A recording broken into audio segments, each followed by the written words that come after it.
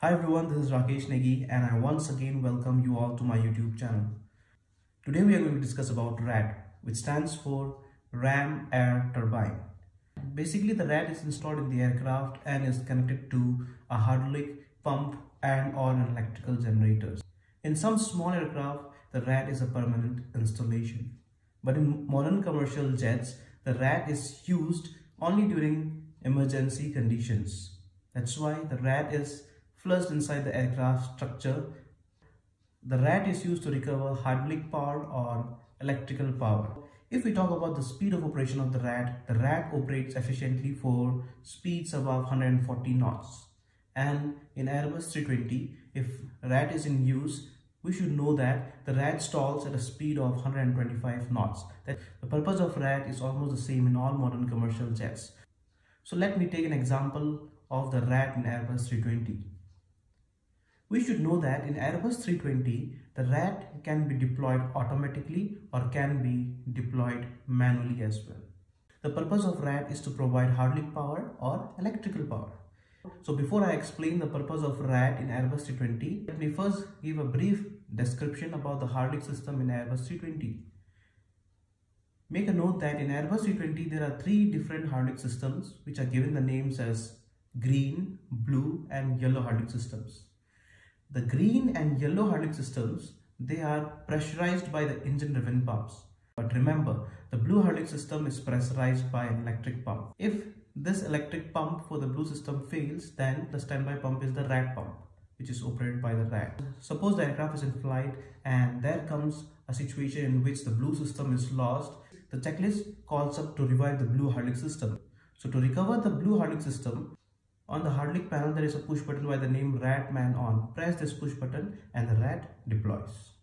So let me take the other case of electrical failure in flight. Before this, you should know that in electrical system, there are two main bus bars named as AC bus 1 and AC bus 2. If these two main bus bars are lost in air and the speed is greater than 100 knots, then the RAT deploys automatically. And if not, then RAT can be manually deployed by using a push button by the name man on. It is also guarded red and this push button is present on the emergency electrical power panel. So now you're knowing how the RAT deploys in case of hydraulic failure or electrical failure. Let me explain you what happens once the RAT deploys. On deployment of the RAT, its two-bladed fan is driven by the windmilling effect. So this drive is given to a pump called as the RAT pump. The rat pump then pressurizes the blue hydraulic system. So the blue hydraulic system gets pressurized.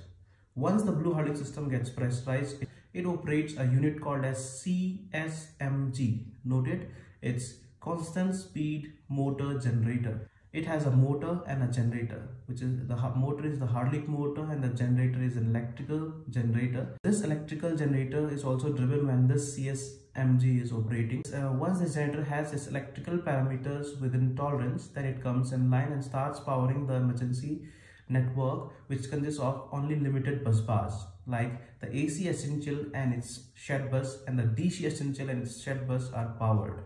So these are the bus bars which are powered during electrical emergency from RAT. So now let me explain you what happens when there is hydraulic failure and the RAT has deployed.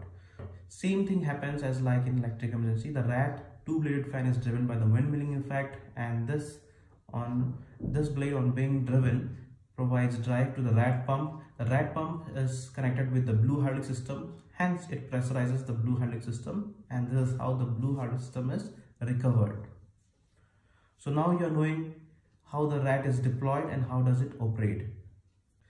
So I hope you are clear with the topic rat that is the ram turbine. If there are any doubts do ask me in the comments below and this ends today's topic. I'll come up again in the next class with a new video. Till then enjoy learning. Thank you. Namaste.